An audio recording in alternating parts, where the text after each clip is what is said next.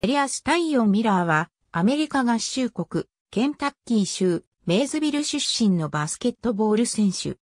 NBA のニューオーリンズ・ペリカンズに所属している。ポジションは、スモールフォワード。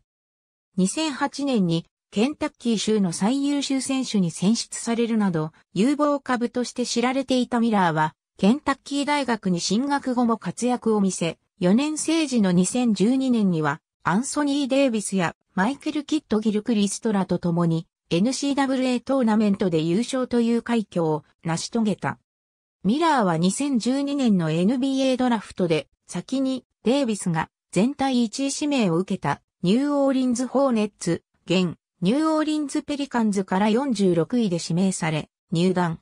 しかし2012から13シーズンは平均に3得点。翌2013から14シーズンも平均4、4得点で終了。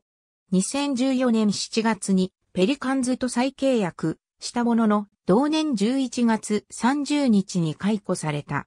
2015年2月25日、ミラーは BBL の競合ブローゼバスケッツと契約し、ドイツの地で再出発。そこでミラーはリーグ優勝やリーグファイナル MVP を経験するなど実績を積んだ。